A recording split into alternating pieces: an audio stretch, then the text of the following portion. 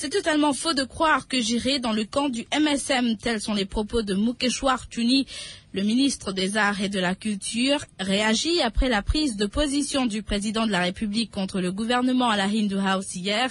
Mukeshwar Tuni justifie sa décision de participer au dîner offert par les organisateurs. Je suis associé à la Hindu House depuis de nombreuses années et il est tout à fait normal que je participe aux activités du mouvement dit Mukeshwar Tuni au micro de